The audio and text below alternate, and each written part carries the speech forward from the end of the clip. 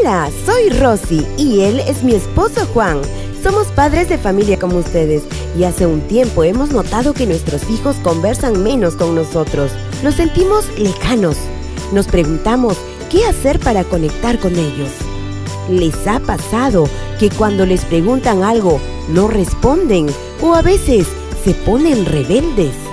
Muchas veces como padres nos molestamos por esto con nuestros hijos, pero en verdad nos preocupamos porque queremos saber si tienen algún problema o en qué cosas están pensando.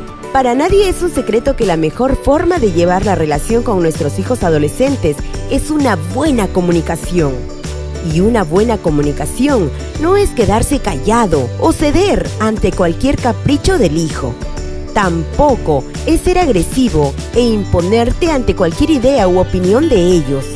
Una buena comunicación debe ser asertiva, calmada y respetuosa. Cuando conversemos con nuestros hijos, no solo es importante saber hablarles, sino también escucharlos, mirarlos y estar atentos a cada palabra que dicen. Recuerden que nuestros hijos están pasando por una etapa de cambios. Por eso, ellos necesitan que los escuchemos, que comprendamos sus gustos y sueños. No critiquemos o juzguemos sus ideas, porque no siempre van a pensar como nosotros. Y si queremos que mejoren en algo, no los griten, lleguen a acuerdos y hablen con ellos. También es importante que celebren sus logros, motívenlos permanentemente a seguir esforzándose siempre resaltando lo positivo de las cosas, aun cuando no hayan logrado una meta o victoria. Hagan que se sientan apoyados por ustedes. Aprovechen los momentos en familia para fortalecer la relación con ellos. Fijen en casa un espacio y tiempo tranquilo, sin discusiones. Mírenlos a los ojos cuando hablen con ellos.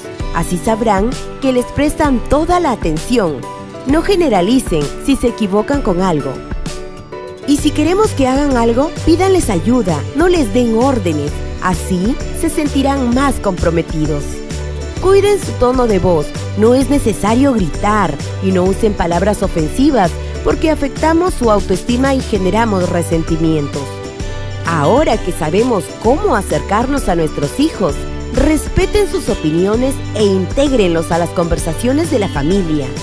Tengan siempre en cuenta que la adolescencia son años maravillosos y a la vez muy complicados para nuestros hijos. Por eso, lo mejor que podemos hacer es acercarnos a ellos, escucharlos, comprenderlos y aconsejarlos.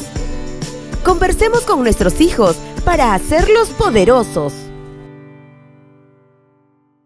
Ugel Sechura y Fospibay, trabajando juntos por una buena educación.